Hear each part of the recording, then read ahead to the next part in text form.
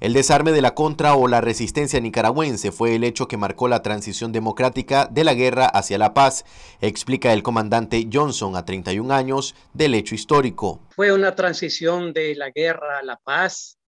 La, la resistencia nicaragüense había alcanzado su objetivo, que era luchar para que en Nicaragua se realizaran elecciones limpias, libres, confiables, y el pueblo en masa fue a votar y ganó eh, eh, la eh, presidenta Violeta Barrio de Chamorro. Entonces, fue una transición, se terminó la, justificación por la que miles de campesinos se habían levantado en armas y, y Nicaragua inició una nueva era de paz y, y de desarrollo que desgraciadamente pues no se ha cristalizado.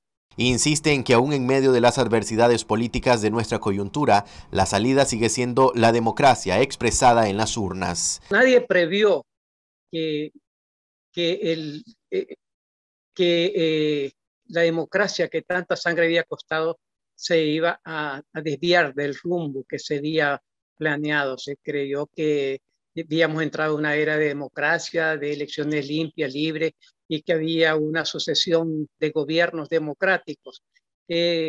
desgraciadamente, los pactos y las componendas pues dieron como origen que la actual dictadura pues regresara al poder y, y ahora estamos ante la misma situación de violaciones de los derechos humanos, que fue el, confiscaciones, pobreza, relacionamiento, exilio, cárcel, igual que en los años 80.